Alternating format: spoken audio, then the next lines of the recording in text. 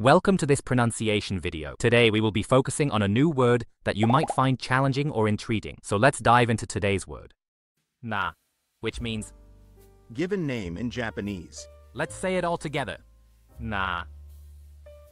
Na. Na. One more time. Na. Na. Na. Thank you for joining us on this adventure in pronunciation. Remember, language is a journey, a destination. Keep exploring, experimenting, and expanding your linguistic horizons. We'll see you next time.